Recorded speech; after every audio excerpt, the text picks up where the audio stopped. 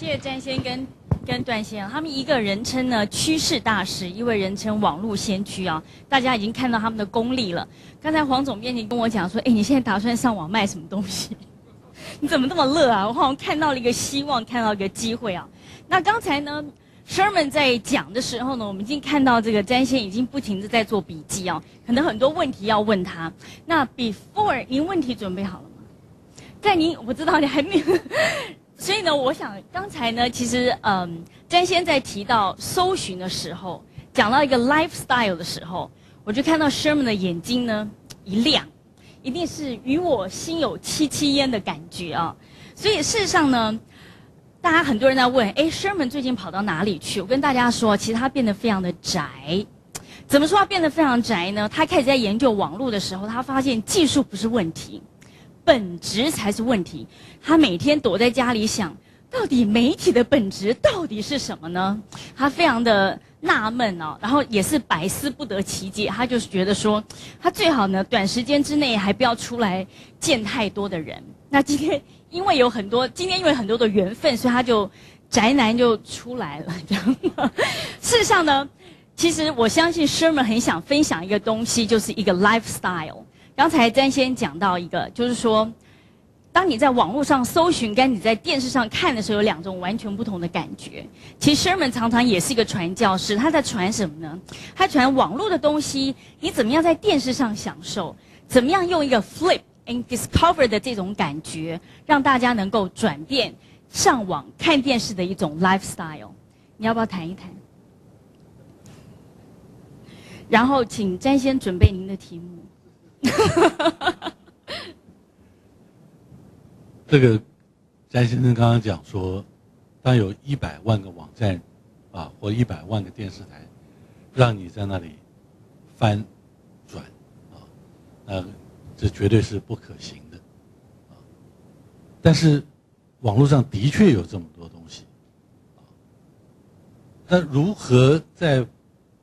不要任何一个使用者都拿一个键盘坐在电视面前去搜寻，他却能够发现。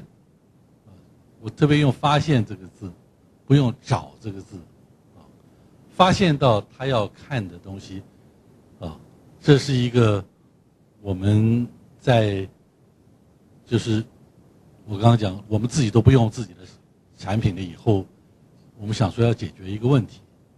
所以我们就问人家说：“你转到第几次的时候，你会不想转？”我们就问了很多人，大概得到的结论是三十到四十次。那么有几千几万个网站，转到第几次的时候，啊，就三四十次就要转到你想看的东西，这个背后的技术和机制到底是什么？那么就在想说，另外一件事情，早上跑去买个报纸，或者我们订个东西叫杂志，或者是我们打开一个电视，报纸拿来我们翻一下，看，杂志也是翻一下，电视台好像也是转台，我们说也是翻一下，flip。我突然得到一个很奇怪的结论，叫做。只要是媒体就要能被翻，不能翻的不叫媒体。啊，但是呢，如果《世界日报》每天把他所有收到的新闻、所有的资讯通通印出来，《世界日报》大概这么厚，大概不夸张吧？是不是？如果每天给你这么多，还是五毛钱一分，啊？你会比较觉得物超所值，比较 enjoy 吗？还是说算了，我不看了。OK，你你你别送来了，啊，这个是就是我们在想的一些问题，就是比如说我们现在说啊，我我我订八十一个台，人家说九九九乘九嘛，九乘九点 TV，你为什么是九乘九？不是我就给你八十一个台，我希望你转到一半时就能找到你要的内容，啊。但是，那么这么多网站，到底谁把那个八十一个挑出来，而且给你给他每个人不一样？啊，我就很佩服像这个黄黄总编。世界日报如果每天把它收到信息印出来要这么多，他把它变成只有这么多，然后于是乎你翻一翻，你就觉得很有趣。但是谁有这个本领把这么多变成？这么少，然后大家还觉得好看，每个人还觉得在里面找到他想看的东西，那就不是科技的问题。那我们现在网站是更多，每天增加的资料更多，像 YouTube 说一分钟上传就四十八小时的内容。那么如何来做一种我们叫数位策展 （curation curator），就是类似做黄总编的事情，把它变少了，不是变多了。让大家可以翻一翻、转转台，就找到你要看的。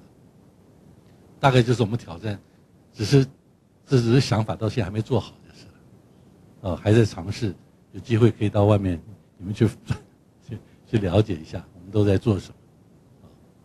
就到目前为止还在尝试，已经好像每次都觉得，就刚刚您教我那句话，到现在还背不起来。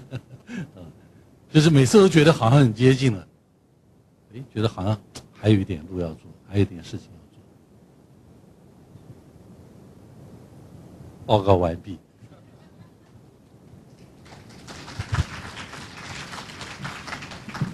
嗯，为了公平见，我应该也问詹先一个问题，对不对？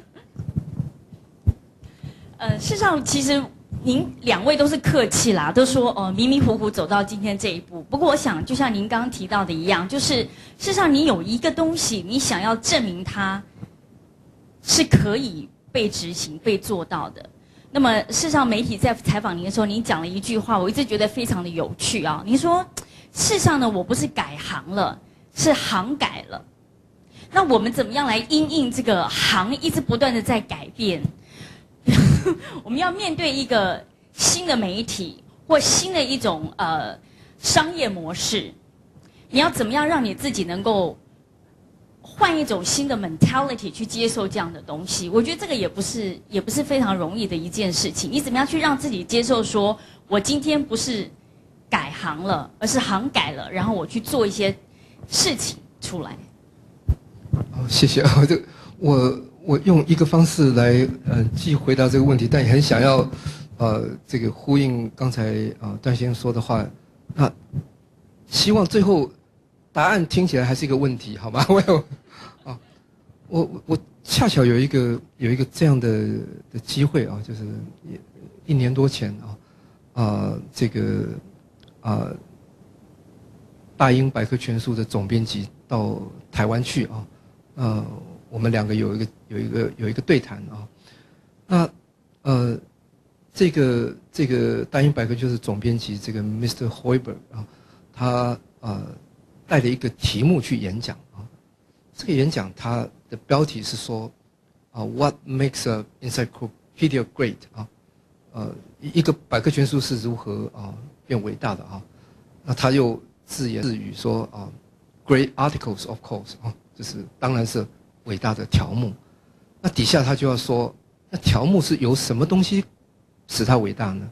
他猜想有啊，tone 语调啊，subjectivity 啊，它的客观性，还有它的 balance 啊，那他就用例子去解解释了，就什么时候他的语调是更更客观、更更啊更谨慎，不会冒犯。不同的族群、不同的信仰、不同，他就举百科啊大英百科全书一个条目，举同一个条目的这个 Wikipedia 的条目的内容，就啊看出它的差别。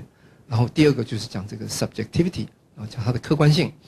那最后最有趣的是讲 balance 啊，他说在大英百科全书里头，他用人来做编辑。他要考虑每个条目之间的关系，不是写一个条目而已。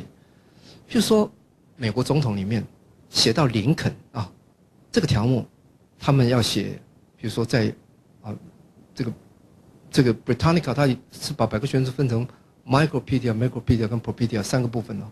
在 Micropedia 那部分，林肯是写了两页啊，两个 full page。如果翻成中文，那个大概要八千字左右，很长的一个一个条目。那写到克林顿啊，写到 Bill Clinton，他大概是这个半夜多一点啊，这差不多是啊林肯的四十个 percent 啊。然后写到奥巴马六百个字啊，那他说这是有原因的，就是从历史的这个的的不断的啊评价的这个这个考验当中，时间的筛选当中，林肯所做的事的价值是愈来在历史上愈来愈明确，所以他的他对美国历史的贡献值得用这样大的篇幅去报道他。Bill Clinton 也是。表现非常好的一个近代的总统啊，就他们的观点，那他值得用这样的篇幅，但他没有条件啊，至少就今天为的理解为止的理解，是很难跟林肯有同等的规格啊。那奥巴马是一个是一个现象，在历史上会是什么位置，没有办法知道，所以现在在学术一个有沉淀的意义的学术立场上来看，他只能。先写六百字啊，表示有这么一件事，以后会变更长还是更短，要看他的表现啊。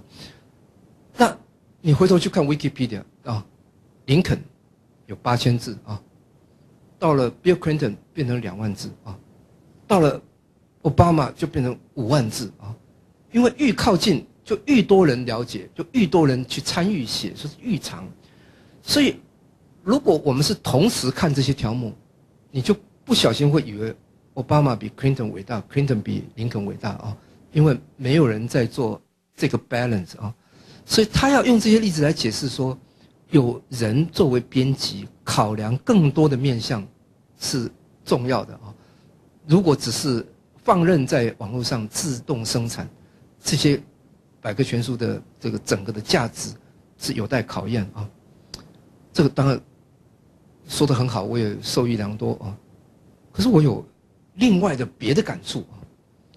我说二十年前，啊，这个全世界这种 general encyclopedia 啊，不是特不是专业百科，一般性的百科全书，多卷式的啊 multi-volume general encyclopedia，最好的百科全书是大英百科全书啊，同时也是最多人使用的百科全书。今天大英百科全书。极可能还是最好的百科全书，但是是没有人用的百科全书，没有人用啊！我说没有人用，因为我我们这个谈话发生在二零一一年的年初，二零一零二零一零年，那个大英百科全书刚把台湾的那个商务代表，就是他有本来有个业务代表，他裁撤了啊，就表示从此之后大英百科全书台湾是一个人都没有了，现在是连印刷也不印了啊。那说我很好奇，二零一零年他们印了一个新的版本。我说这一个版本在台湾到底卖了多少册？到底卖卖了几套？他说两套啊。所以这个表示台湾不是只有两所大学嘛？啊，台湾有很多大学的，意思是所有的大学也都没买嘛？啊。那我有一个姐姐是大学的图书馆馆长，我就问他说：“哎，为什么你们现在连大英百科全书也不买了？”他说：“没有人看呐。”然后我们现在又要拨出预算去买资料库啊，要去买那个 Access 期刊资料库的这个 Access，那个要很多钱，所以大英百科全书既然没有人用，我们就不买了啊。那这个我要更进一步说，我如果去看现代年轻人的查考行为，就找资料的行为，我看起来 Wikipedia 也不是大英百科全书的竞争者。它最主要是查考行为已经变了，没有人根据他的需要去找对应的工具书，没有人这样做的。每个人都是把他的问题放进 search engine 的空格里头，如果放进去跑出来的结果里面前面的三个五个有 Wikipedia，他就点进去。他不是去 Wikipedia 找条目的，他是在 search engine 里面问问题，Wikipedia 是他找出来的。答案的前面啊，那我也曾经问过我的学生说：“哎，查一个东西，比如说我想说，哎，我要不要去下个下个月？如果想去纽约旅行，那我想查一点新的这个纽约资料。我如果没有用很精密的那个查询的方式，我就去打一个 New York City 啊，他就会跟我讲说，有一亿零五百万个结果啊，符合你的搜寻条件。我用了零点二三秒啊，那我有一亿零五万个搜寻结果，对我到底是好消息还是坏消息？我问我的学生说，搜寻结果跑出来这么多，你会看到第几个会停下来啊？就跟大先生问的完全一样的问题。我的学生说三个，我听了就觉得，哎，我们这是不一样的人。我我是那种看了两百个。还睡不着觉的人啊，Google 也的确是蛮厉害的。我我每次找一个东西，我的确看起来前面搜寻结果的前面三个五个，跟我要找的问题的确很关系很密切。有时候走到第二十的时候，好像就比较没那么密切了啊。可是我是再往下看，看到第三十五，又冒出一个哦，我觉得非常非常相关、非常重要的。然后接下来又好像有点松散，有点不太相关。可跑到第五十个，又跑出很。很相关的结果到两百个，还是会出现很很我很想要的结果，那我就不知道两百个以后是这个样子还是还是不相干了啊？你还是不知道那个结果啊？所以对我来说，我看完两百个，那我总共查到一亿个，那意思是有九千九百九十九万八九千八百个我没看嘛？这个我所看的比例近基于零嘛？啊，我等于没有看呢。那我应该睡觉吗？我好像不应该，对。啊，所以我说，search engine 给我一个大的困难的啊。那颠倒颠倒过来说，大英百科的学术这么好，有什么用？新一代是不知道它了，因为他们没在网络上见过他啊。即使现在在美国，大英百科全书在网络上有非常多的州政府买下它的权利，让州里头的学生、中学生都可以 access，但没有人在用啊。它可以解决 business model 的问题，有收入，但它已经跟一般人的使用行为不相干。这一个百科全书不管多好，是没用的。我说我是一个 editor 出身的人，我有很大的感触。我如果过去还花这么多力气去了解工具书，今天这些东西都没有用了。工具书如果不在 search engine 之前或者旁边啊，如果是搜寻。引擎里头的一个结果，根本就不重要了，啊，除非你能确保你的结果在前三个啊，要不然这已经不重要了。所以，做参考书的人要明白，参考行为已经变了。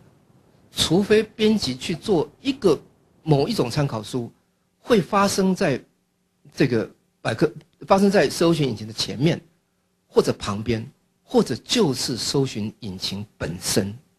不然它就不是工具书啊。颠颠倒过来看，做搜寻引擎的人本来可能没有想过他是做工具书的，他只是做某一种运算，能把某种结果找出来的人啊。可是慢慢的，他现在服务这些每天几亿个 inquiry，他慢慢也意识到这些 inquiry 其实都有一个答案的需求。他要的不是相关性啊，不是说有这个字就好，对不对？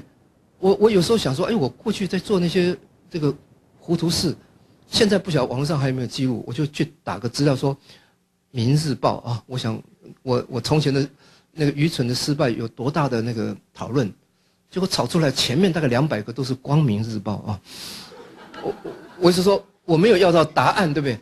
我只要到了相似的字啊，这是全文比对的结果嘛啊。所以，我我意思说，搜寻引擎也不能停在这里。Eventually，你要帮助人的这些人是为了查考而来，他不是为了搜寻运算而来。你要给一个 answer，对。所以，搜寻引擎也要也要 evolve，也要演进，也要演进到最后有搜寻有这个参考结果的那个能力。所以，搜寻引擎的工作者最终也要变成参考书的。概念的人啊，所以这两个东西，不管他从哪里走，走到哪里啊。那我我有一次这个这个这个，这也是无无意中一个一个私人的兴趣了，因为我爱看推理小说。呃，在在这个这个 Sherlock Holmes 福尔摩斯的小说里头，有一个短篇叫《五个柑橘子》啊，五个橘橘子的那个籽的柑啊。那呃，他在中间他碰到一个问题，他就跟这个 Doctor Watson 他的朋友说，华生医师，他问他就跟他说，你可不可以把后面那个百科全书啊，K 那一册递给我啊？他就递给他，他就查啊。那我因为是个书呆子，我就想知道说，以福尔摩斯的时代啊，以作者的时代，那这一个百科全书可能是哪一家出版社出的的哪一版啊？我就做了一个考证，最后证明这个百科全书可能是哪一年的哪一部百科全书了啊。但是，我突然想起来，如果这件事，福尔摩斯是在今天，他不会跟华生说把 K 拿给我，对不对？他说把 notebook 递给我啊。他就在搜寻引擎，就 key in 那个 K 哦，它里面有一个字，他要做的事，他输进去，我也试了一下，的确有一亿多个结果啊，花了零点二一秒啊，他搜寻出这样结果，所以福尔摩斯理论上应该在那里大概要点两百次到三百次啊，按照那个小说的那个进程，理论上他得到结论的时候，那个凶手也是已经走了啊，他是没有办法做，我说。我我在这一个架构里头，看到资讯处理技术的进步，但没有看到智慧跟学习的进步啊。所以这样的事是一定是科技的典范转移里面的过程，它还不是结论，它还有很多的空间要做啊。所以我今天看到这个这个这个段先生做这个 nine by nine，我就觉得你在做一个这样的事，你试着把今天我们认识的这些。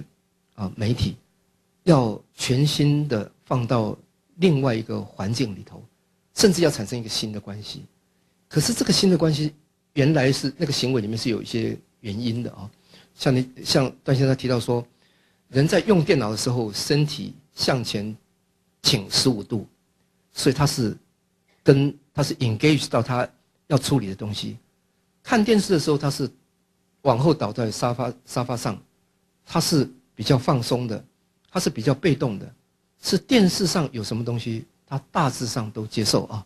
如果没有太，如果没有太太太不好的话，所以这些东西啊，跟你今天要做的事其实全部都有关，对不对？就是这行为它有关，它是你到底要建造一个啊，要让它很很介入的行为，还是要让它变成很放松的一个行为？那 Internet so far 因为大部分时候都跟啊某一个 computing device 有关，不是电视这样的这样的工具啊，都是都是那些比较复杂的工具啊。我觉得电视有一个好处是，它只说一件事，所有人跟它的关系是一定的。但是电脑就非常复杂，没有人知道它跟电脑下一次的关系是什么原因。你到底要是拿它来当娱乐呢，还是当工具呢，还是当娱还是当学习呢？那个。电脑的特色就是电脑并不知道它下一次要做什么事，这也是为什么想要简化电脑功能的人都会碰到一道铁板啊，就是每次想要做，就是包括过去宏基的施先生想做呃国民电脑，就是他说猪八戒都会用的电脑是没有成功的。这个华硕施崇堂先生做 EPC 本来是想给老年人银发族。还有电脑用的程度比较弱的人，来来使用，但 EBC 后来完全不是这一回事啊！这个小笔电最后变成上网本啊，是变成一个这个 mobile device，所以三炮他的想他原来的设想是不一样的。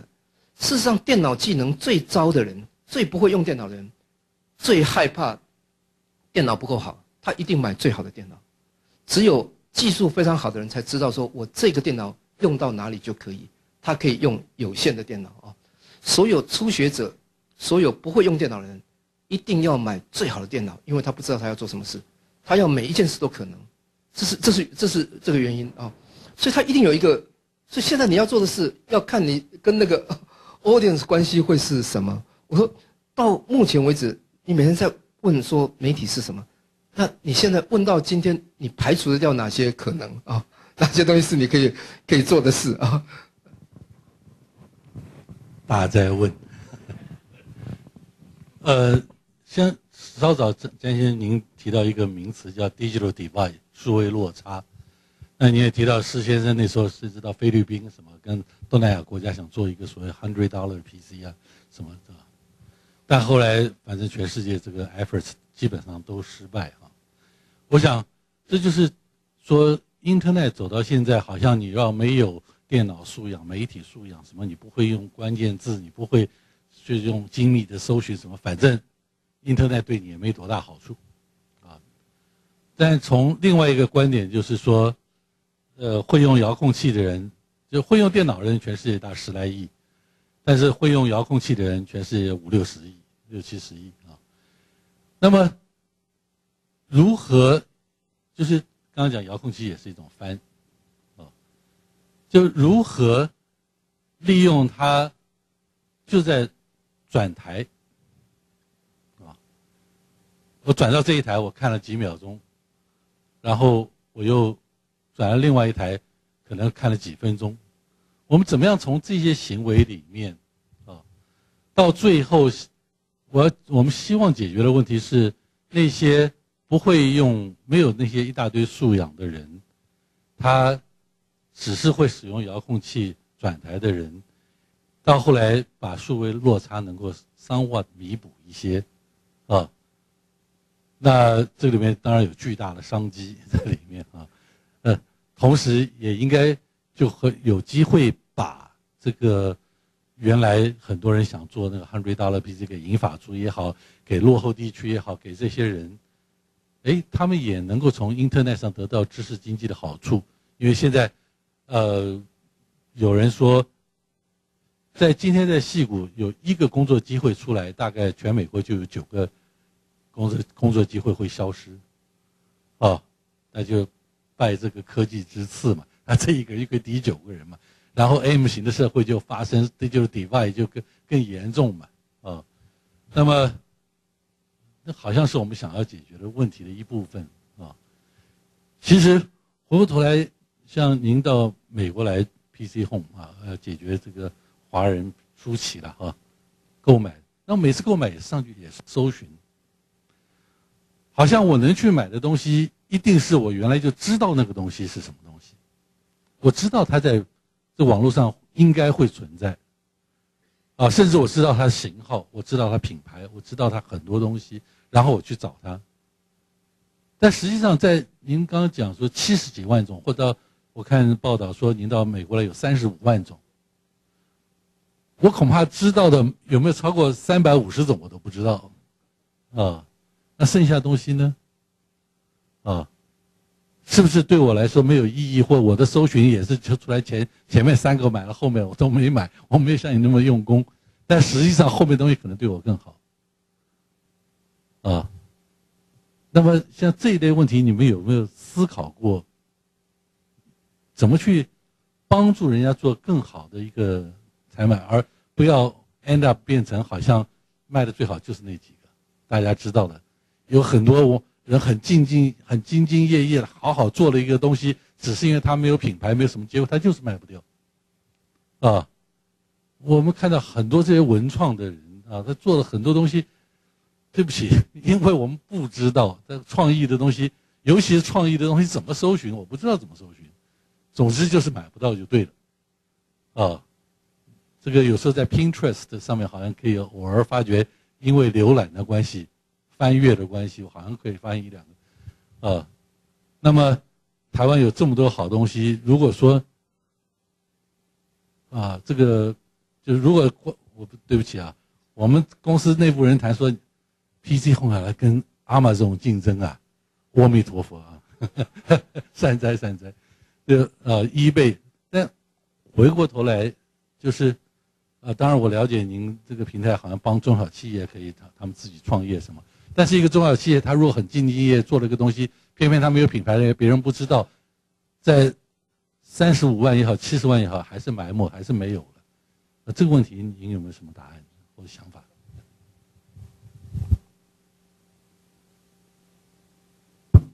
我我自己并没有答案哦。不过在 Internet 的环境里头，我感觉那个答案是。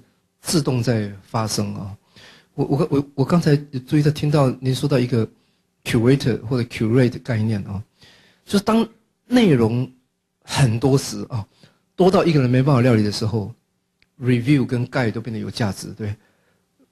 如果讯息没有那么多哦，就我我小时候在乡下长大，我们村子里头总共就两家餐厅啊，所以我猜想我们是没有一个 restaurant guide 的需求了啊，因为它就是两家嘛，就是你如果有有有婚葬喜庆，你就是不是阿文就是阿郎两家，你你不会有其他地方了啊。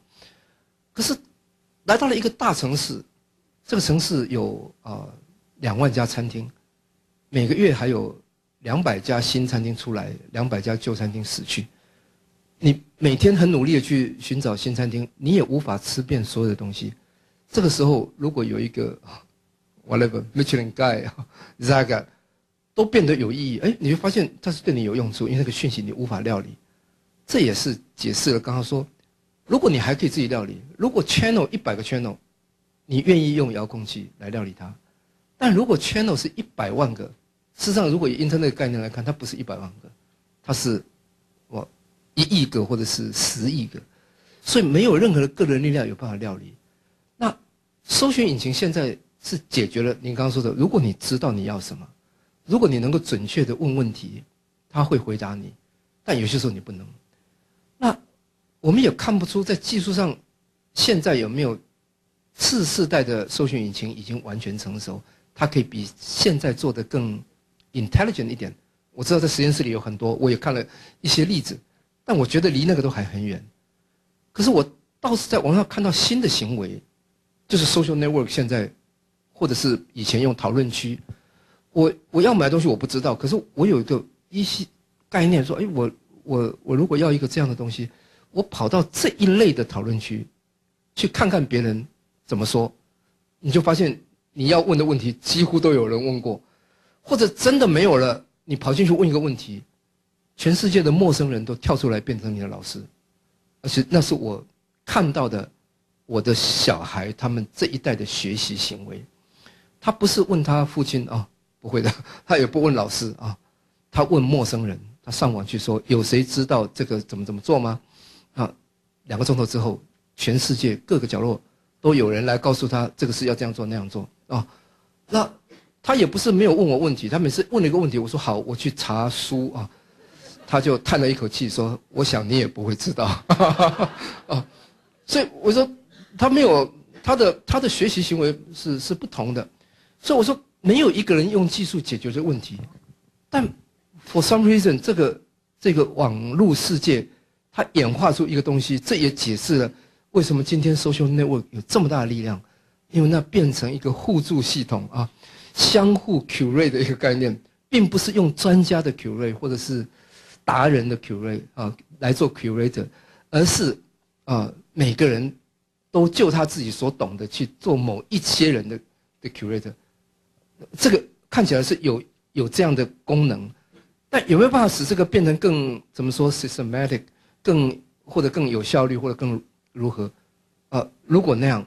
那我们会创造一个全新的 business model 呢？这个不知道有没有有没有？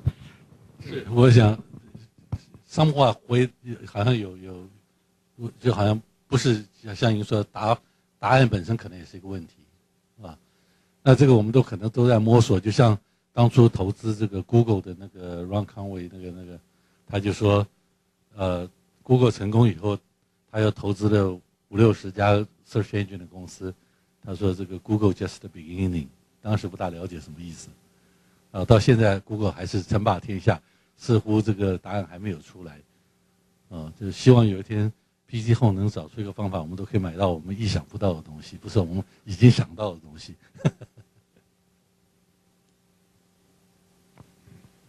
想，呃，其实我想各位观众呢，一定也迫不及待啊，想要问一些问题，那么我们就预留几分钟的时间呢。”就是让我们的观众来提问，好，来，请我们有麦克风，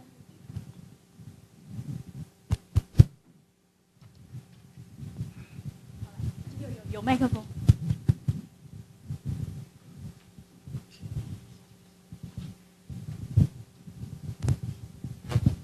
大家好，嗯，这个问题是问詹先生的。呃，我想问一下，就是说，呃，首先很高兴 PC Home 来到美国，对，真的很高兴。那有一个现象就是我我们我跟我太太，我们每年都花很多钱买书，那基本上运费就是书价的一倍，所以花一百块钱买书，运费就是一百块钱。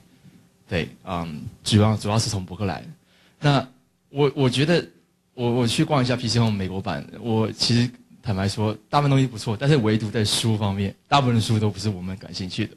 那我想，我想问的就是，其实我是真针对华文的这那个东西，我觉得你在美国其实买商品很方便，但你你特别要去买一个一个中文界面的东西，然后而且是大部分都是来自于台湾或者哪里的地方，我觉得有一个很大原因是因为你在那个文化上面有有一个有一个高度的一个相关性，你知道这个东西是做什么的。对，那尤其对于文化商品，譬如说书、音乐、电影这些东西，但另一方面让我非常感叹的事情是，数位化的这些东西非常慢。我知道有非常多免费资源，但是其实品质都非常不好。那我想问的是，就是很像非常成熟、高品质平台，譬如说亚马逊或是 App Store，你几乎找不到华文出版的东西，音乐也好，电影也好，尤其书籍也好。另一方面，就算你买到。代价非常高，然后实体商品的话，收藏成本非常高，你要很多的书架，然后整理干嘛？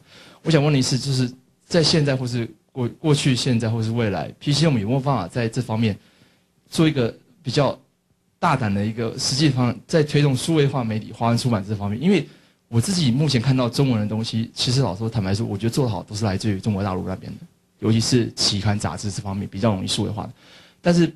包括了翻译的书籍或者本土作家的东西，台湾的话，我我个人梦想看是觉得一个处在一个非常让人家觉得很失望的一个状态，就是你就是找不到这些东西。我想请你回答这方面，谢谢。这题为两部分啊，第一个是来自 P C M 的部分啊，呃，我我们现在这个放上来的三十五万种商品都是原来啊仓库里有的。那法律上容许我们卖到美国来的啊，没有任何的安规的问题、检疫的问题，这些，它还不是一个完完全全针对这个地方的的的消费者他想要的东西的这样的一个 merchandise 的一个一个一个一个一个选择。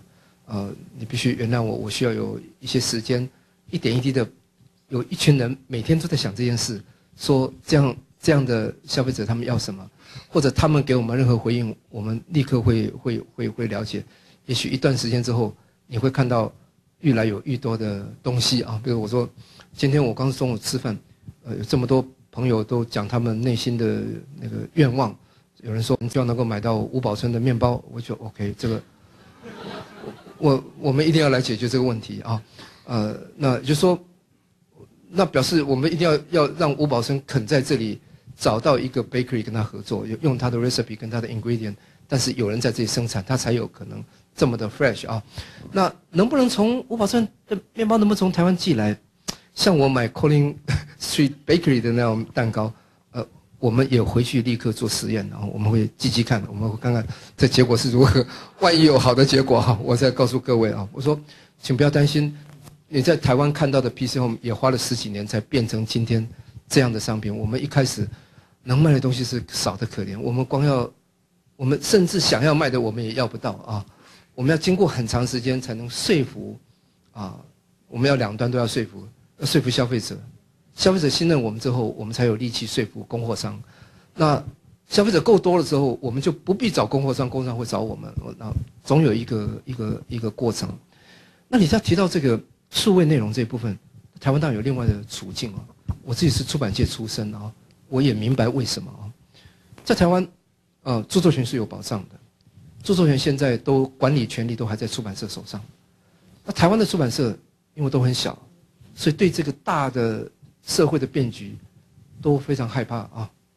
他们又非常多，台湾的出版社有八千多家啊，因为是一个自由的地方，每一个想出啊有一本书没有人出的，都会有个出版社跑出来，所以就有非常多的出版社在那里。每一个人不同意，你就不会得到那个书，这是为什么他会落后于中国大陆的原因啊！中国大陆一个政策就可以让所有出版社非出电子书不可啊，台湾是不能的啊。他因为小，他因为分散，所以他做的慢啊。但我觉得当他开始做之后，我认为他会做的，在华文地区的，我相信会做得好的，因为它人才很多啊，它的科技人才很多。台湾是一个有深厚的工程师文化的地方，如果是技术能解决的，台湾都是一个好地方。所以，呃，就 content 来讲，台湾的出版是出的书是，从我的观点啊，我这样说可能有点，我是我现在已经不在这个行业，所以比较客观一点啊，啊，我说我认为台湾是一个出版非常蓬勃的地方，两千多万的人口，一年出版四万三千种书啊，如果我们说，哦。New title 和 capital 啊，每人均新书品种，这可能是全世界第三大的国家啊，比美国要大啊。美国是一个这个三亿人口的地方，一年出版十二万种新书啊。日本是一个一亿两千万，台湾六倍人口的地方啊，一年是出版六万七千种书啊。全世界能。就人口数大，出版这么多新书种的啊，另外的两个在他前面的国家，一个是英国啊，一个是荷兰啊，台湾是最高的几个国家。但是我不能，你不能问我说这些书有没有比别人好，这我就不敢讲了啊。那有没有买的比较多，有没有读的比较多，我也不敢讲啊。台湾现在一年，不每一个人一天，按照统计，像看起来是花了一天哦，四点四个小时在网络上。是，这是非常惊人，但是历历年来的统计从来没有看过台湾平均每日读书的时间有超过十七分钟啊！所以我说，我说那个社会当然读书还有很多很多的不足，但也有一些值得骄傲的地方。那从出版的那个活泼程度来讲，我也有一两个例子可以解释它的情境啊。比如说，如果你有机会去马来西亚啊，马来西亚因为有四百万的华人啊。有一有一个相当数量的华人，也很多华人还坚持用中文啊上华校啊，他们对这个这个这个这个整个传统文化来自于这个民族的文化有很深的感情啊。我我有几次去参加他们的文学奖的颁奖典礼，看他们这个颁奖典礼，我觉得哎呀，这个从节目从什么，他也许比不比不上。北京、上海、台北的的精致或者足够的人才，但那个用情最深啊，就是对那个文化那个感情最深啊。也许是因为困难啊，所以他们加倍的那个、那、那个、那个深。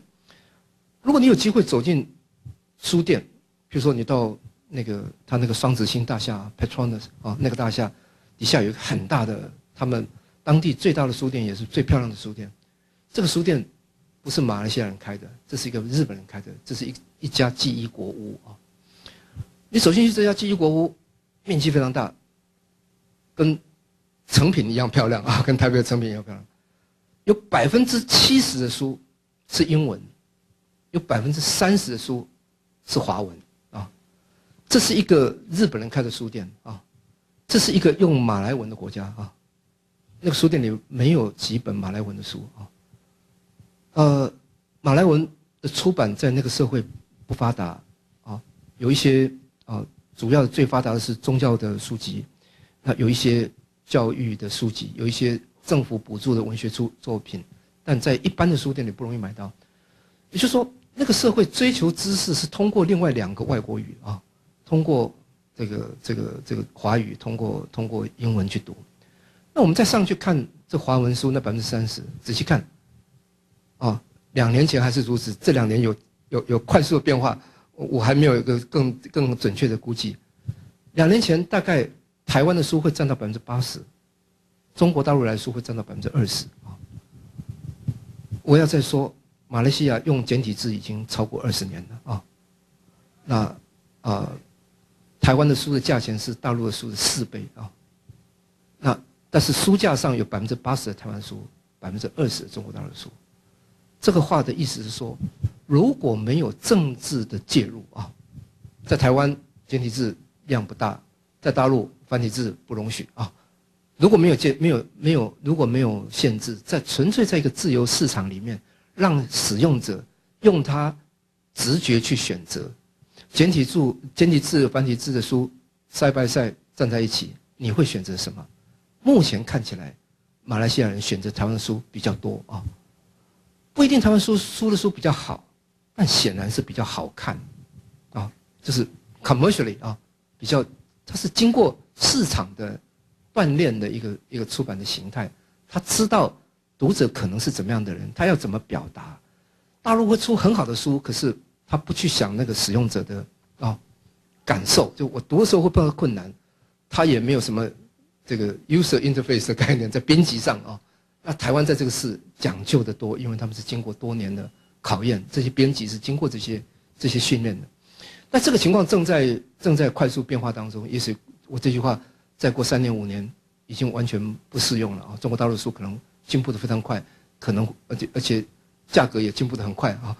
是就再过一阵子，它可能会比台湾的书贵啊，卖的比台湾多也说不定啊！这个这个是是是台湾的危机。不过我只要说，台湾是一个有竞争力的地方，但现在它的这个这个电子书发展缓慢，固然有很多啊政策上，也正是因为这样，而且它的出版的分散性就没有被少数出版社垄断的这个性格，使它整合不易啊。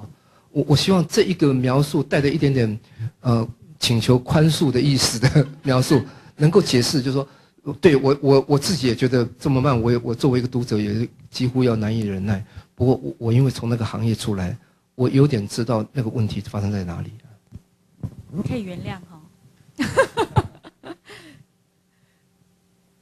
请，我们的麦克风在哪里？我们的麦克风哦，谢谢谢谢。呃，对两位专家来讲，我是对你们套一句你专家的话，用情最深。因为我是昨天晚上才下飞机，从最远的地方台湾来的，结果很感谢《世界日报》，让我今天能跟各位见面。因为我家是长期住这里，我是一年在台湾，一个月在美国。那么我一来，因为我家里儿子太太都是订《世界日报》，所以我早上睡醒一翻。哦，两位专家在这里，所以我就赶紧开车过来参加你们的这个对谈。现在有一个事情要请教你。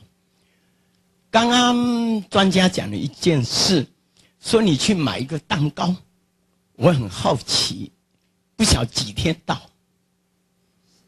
对，结果是用，就像我在台湾，呃，在美国。我跟你口口误一样，你刚刚也讲了一个台湾，嗯，就像我们在 supermarket 买的那个蛋糕一样，都是糖。那么第一时间有这么多天，会不会坏掉？对身体会不会有害？这点我觉得，对你们这个商务这种，是不是有一点需要啊？想了解。那么最后。今天很难得，我们总编辑呢都在这里。我元奇留个电话给各位，只要今天在场的到台湾来找我，我是陈元奇，台湾武打联盟主席。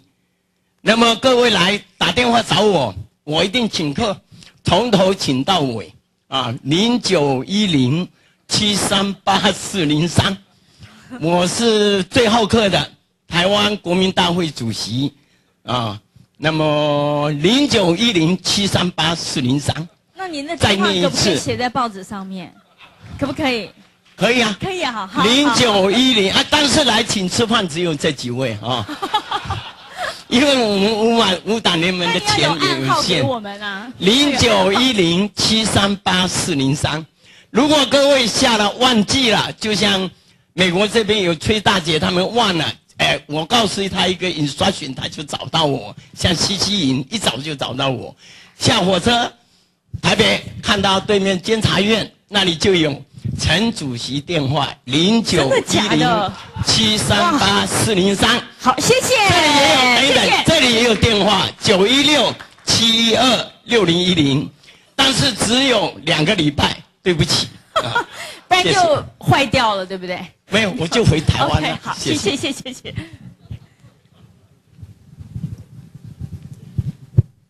非非常谢谢主席的问题啊，呃，我我我说要说那个买蛋糕那个经验，我我我我纯粹是要要来解释，呃，我当时因为充满了对这样的一个一个一个一个新啊新的这个交易形式的好奇啊，那我买了那个蛋糕回来，在我自己这个非常鲁钝的味觉底下，感觉是没有坏啊，我吃完了啊。我有一个在家里吃完，有一个在办公室跟我同事一起分享啊。我吃完了，我确定它应该是没有坏的了啊。但是我后来我又做了一件事，我试着从台湾跟啊这个奥地利一个有名的卖这个 chocolate torte 啊，那个叫 s a k e torte 那个巧克力蛋糕啊，那是一个有鲜奶油的蛋糕。我试着要让他用空运给我啊，那个到了是坏了的啊。所以我在当时的实验，这个是九一九九嗯九九六或九七年啊，所以当时的的条件还不是你想买你就你通通可以 control 那个环境。不过那个经验，我是十年前这个经验，它已经预告了未来要发生什么事啊。那现在在台湾那个生鲜食品的宅配。跟电子商务是重要的一个生活项目啊，呃，这个这个这个订鲜鲜奶油蛋糕，今天订明天来，呃，在我们的 PCM 的网站上，你也可以买到生鱼片，买到活蟹啊，保证到的时候是活的啊，死了我们就收回去啊。我说在台湾，因为这个已经这个不是不是电子商务人做的，是这个整个的社会的宅配系统。多温层的宅配系统已经完全完成，就是呃，你要一个车子开出来，它都有处理常温的层的的的的的位置，有处理啊这个五度的五度 C 左右的产品，就是保鲜的，还有冷冻零下二十度的这个位置，就一一辆卡车开出来，它都有三种不同温度的空间。现在这是台湾的啊这个物流的的主流，所以其实这个是这个社会的这个物流。的底层建制做完了的结果，所以这这个我十年前所做的事，这个是今天每天在好几个社会，台湾是其中之一，每天发生的事啊。跨国这个事当时稍微啊大胆了一点了，不过那是我想知道它会到哪里去了啊。那那个蛋糕吃起来如何？到底有没有下毒？我是用了 我是用了那个神农氏的精神去去吃的。谢谢谢谢，呃，因为我们总编辑等下回去赶稿呢，我们明天等着发稿，所以呢，我们请他来问一个问题，好不好？来这边麦克风过来，您的电话可以不用登在报纸 后面。我有一个问题，因为我知道今天虽然人没有很多来，但是我相信这个全程是会泼在我们的那个网络上。那我想问这个问题是，呃，我我私心。私心的想问，也不一定，刘翔你就不用登在报上，啊，因为我我我觉得这是呃，maybe 不是我们想呃乐于听到的答案，因为我有十多年没有看到詹宏志了。那詹宏志，呃，大家知道这十多年来报纸的那个命运呢，啊，每每况愈下啊，大家都说我们自己是夕阳工业，我想听听看那个。我想听听看张宏志你的 official answer，因为我觉得我们每个人都有我们的 answer。我们也我也查考过一些大家对于纸面报纸未来的未来的一个前景啊。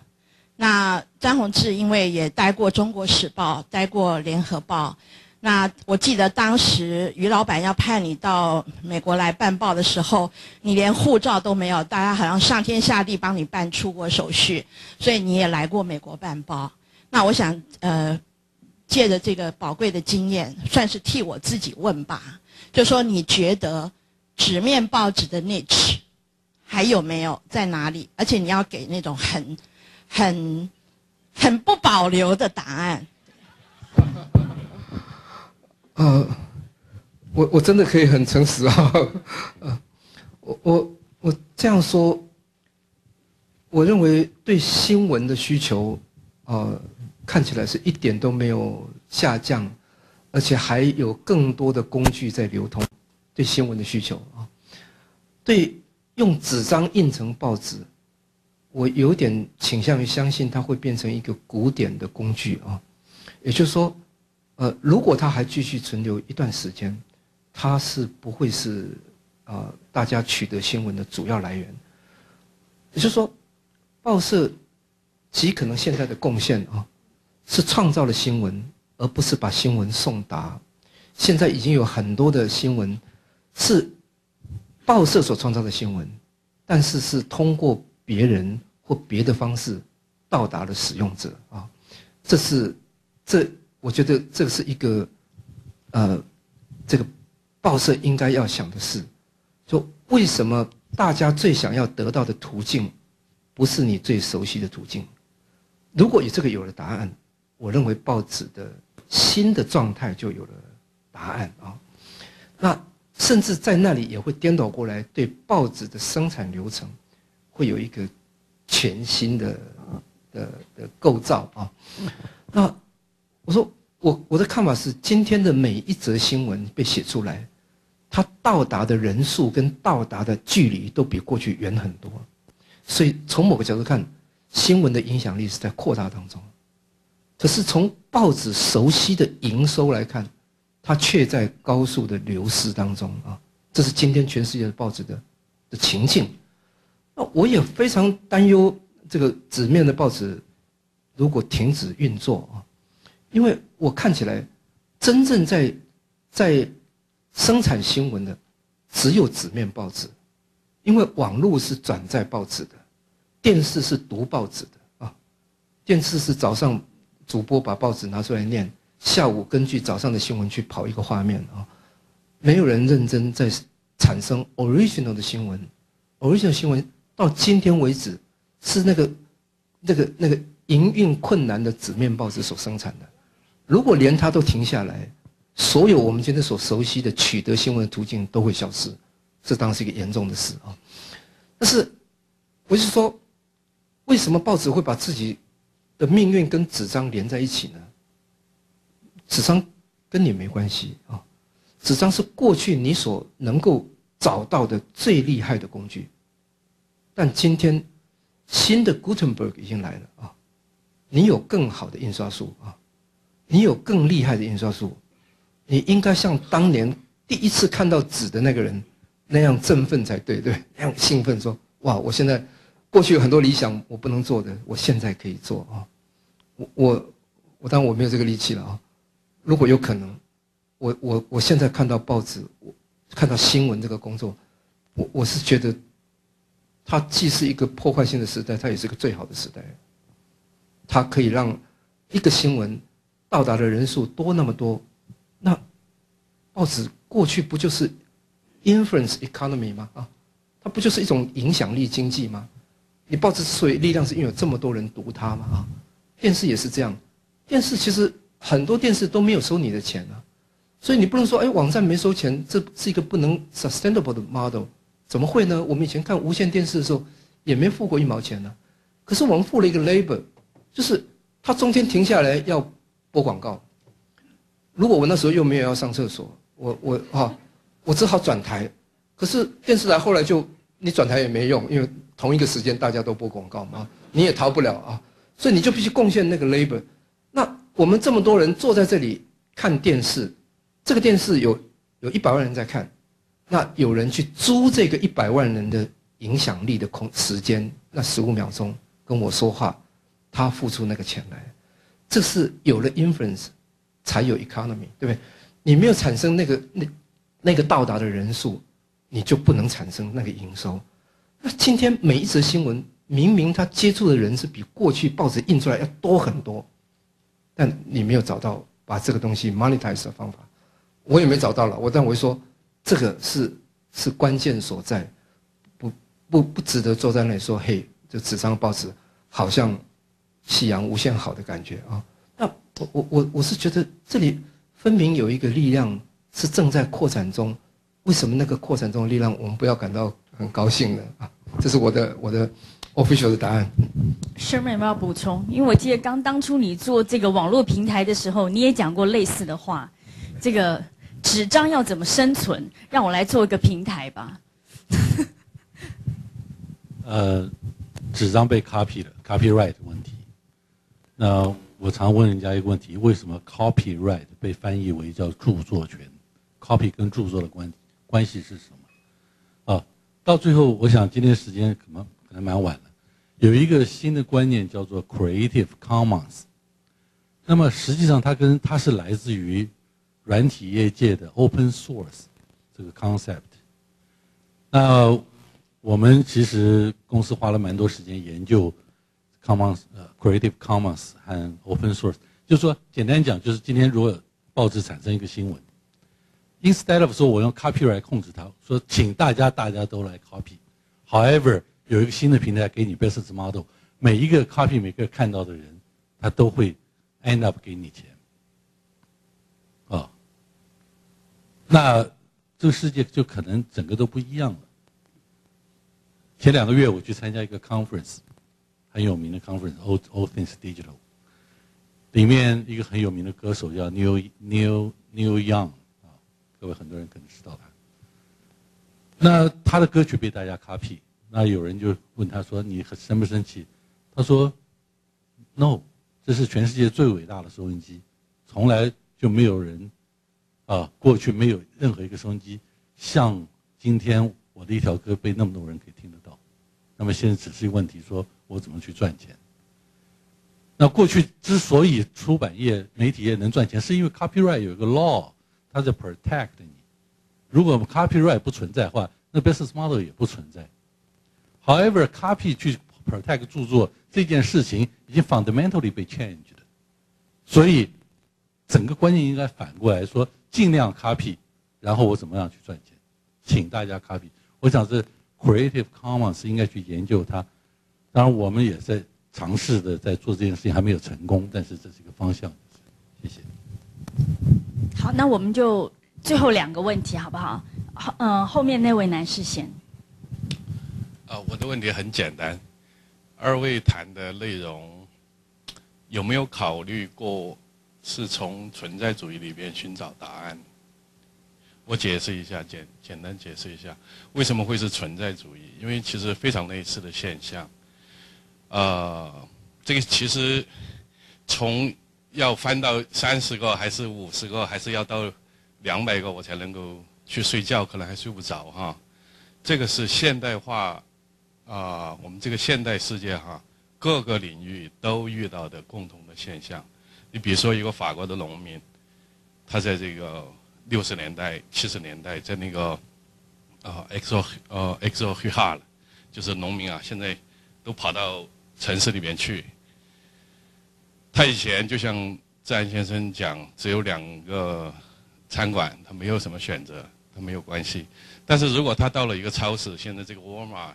这个 supermarket 里边，就是有一个经典的故事，一个农民，他要选，他发现下一个，呃，下一个的呃东西食品又便宜又合他的胃口，他要再下下面去选，一直选啊，像呃过了五十个以后，他还选到有更合适他的，他就一直这样选下去，选到最后他就饿死了。那。这个现象其实我的直觉我没有，其实我对存在主义没有太多的研究。我在法国待过十五年，我大概我就是我想问二位 的这个问题有没有考虑过这到存在主义里边寻求答案？很简单，因为类似的现象有太多，比如说遇到的宗教这么多的宗教，那。我到底要信哪个？很多人就是走到一半他就停到这儿了。我遇到那个我就信了这个宗教。同样的问题，但是一直都会说，到底这个宗教是真的还是还是有更更好的一个宗教？所以我就是那个很简单的问题：存在主义会不会有你们的答案？很简单问题，好，谢谢。我不懂存在主义，但是呢，有人跟我讲就讲过一句话。他说：“只要存在就是合理的。那么也就是说，今天这现象啊，也许对报纸、对很多呃媒体或出版创作的人说不公平。However，这个现象今天就是这个样子。那么假设我们先心理上接受存在就是合理的时候，再去找答案，也许比较容易一点。如果一直要这个跟他抗衡，就是说，啊，你们这些就是我来告你了，我是不是反对你了，我就不使用你这些科技或什么？我想，因为它已经存在了，也没有用，啊，大概我不晓得那是不是答案，但这是可能开始找答案的一个契机吧。好，来，嗯，Vivian。嗯，好，谢谢你们让我问问题。那我谢谢《世界日报》，让我们在湾区可以享有一个回台北才有等级的呃深度性的呃这样的一个活动，我真的很感动。今天其实我不应该来，因为今天是 Good Friday，我应该在教会的，所以我真的嗯，你的上帝会原谅。二十四年前我读了《创意人》这本书，那我想很多的。跟我差不多年纪的人都非常感动，詹先生当时写的那本书启动了很多，嗯，那时候很娇嫩的媒体新鲜人。那在这里，呃，我很想问的问题是，其实这一两年我们在美国看到一家一家的书店都关了。您是个爱书人，那我也是个爱书人，我也早已经透过您的 PC Home，嗯，从台湾订了童书回来，因为我现在在教小朋友。那我就是很好奇，以科技人跟文化人的观点，你们怎么看待？这些书店要关了，电子书这么这么的蓬勃，我们都那么爱书。可是你知道，科技也会带给我们的孩子变得很无能。其实翻书是一件很愉快的事情，可是从一个文化的观点来讲，我个人会觉得不是一件很好的事。但是我很想听听科技人跟文化人的看法。谢谢。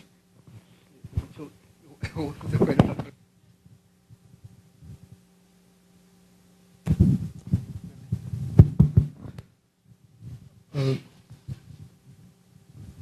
酒店要关门了，我们是应该要走了。对，我是说，嗯，如果有一个很美好的东西，他跟他曾经跟我们在一起很长的时间，啊，后来他也要关门了啊。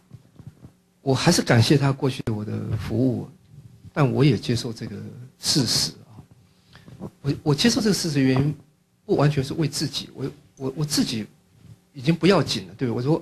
我们已经享受过很长的跟书相处的时间了啊，那我家里还有很多书，明天所有书店都关门了，我还看不完啊。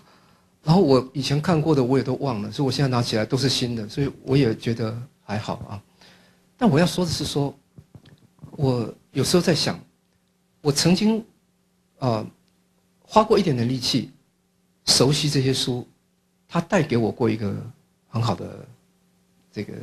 感觉跟生活啊，就是我也花过很多时间去熟悉每一个工具书啊，这些工具书长期成为我的朋友，帮了我很多忙，在我学习当中教过我很多东西。那我对新一代啊，我的小孩那一代，对这些工具书一无所知，我有时候也觉得怪怪的。我很想告诉他说：“哎，这个书你如果这样用那样用，你可以得到这个知识，得到那个知识。”啊，我也曾经这样想。可是后来我在想，我就算让他明白了这些书的好处，他会不会悔改啊？我想想，我猜想不会啊，因为他们真的是那个时代，对不对？他的知识已经有很大的比例，不是用这样的方式得来啊。我我连我问我自己，对啊，我这些工具书都有，可是我越来越少站起来了，对不对？我自己也就是用社群引擎，我也大部分时候我也解决，只是在某些时候我觉得不太放心，我才站起来再把架上书拿出来，这个复核一下。因为我我是一个有古典技能的人，我是古时候的人，我会这个东西啊，所以我知道这些感伤无济于事啊。我我我我知道我们是幸运的，我们两个都经经历过，我有过纸本书的经验，我有过 Internet 经验。我未来的小孩子，他们是 growing up digital，他们从小就在数位环境长大，他们没有 analog 的美德啊，他们没有我们过去得过的某些某些乐趣，他是没有了，但他们有他们的的的乐趣，他们有他们的命运，我不用替他们着急啊，我猜想他们啊，怎么讲，生命会自寻出路啊，我们是跟。纸张道别了，不过我们也也也也保护了森林啊！我我我也觉得不完全是是是坏事啊！我用这个角度想，我说我是个幸运人，我我也觉得有一个好处，好在社会进步没那么快，要把书快速全部消灭也没那么快，但美好的书店一家家关门，我倒是会看见的啊，这个是无可避免的事。那啊，我希望我用一个比较、比较、比较、比较啊脱离的、脱离一点距离长一点的那个眼光来看他。